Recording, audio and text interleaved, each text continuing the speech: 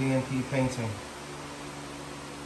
267 977 4385. So, what we got going on here is refinishing some cabinets. They were dark brown. We turned them to a glossy white for a new makeover.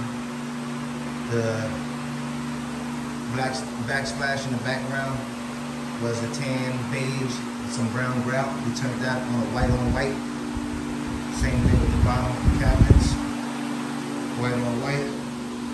And as you can see, we had granite countertops. We're changing that to epoxy, marbleization. So this is the middle of the process. We'll let all this dry out.